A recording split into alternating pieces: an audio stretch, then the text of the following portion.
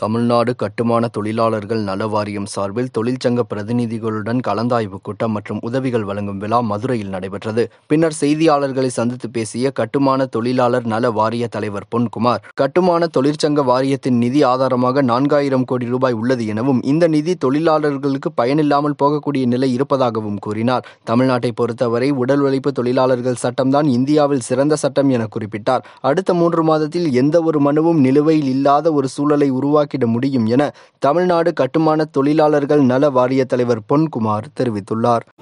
தமிழ்நாடு கட்டுமான தொழிலாளர் நல வாரியத்தின் தலைவராக என்னை நியமனம் செய்த தமிழ்நாடு முதலமைச்சர் தளபதியார் அவர்களுக்கு என்னுடைய நெஞ்சார்ந்த நன்றியை முதற்கண் தெரிவித்துக் கொள்கிறேன். அமைப்பு சாரா தொழிலாளர்கள் இந்தியாவில் தொண்ணூறு விழுக்காடு உள்ளனர். அவர்களை பாதுகாப்பதற்கான பல்வேறு நலவாரியங்களை அமைத்த முதல் மாநிலம் தமிழ்நாடு. இன்றைக்கு அந்த வாரியம் சிறப்பாக செயல்பட வேண்டும்.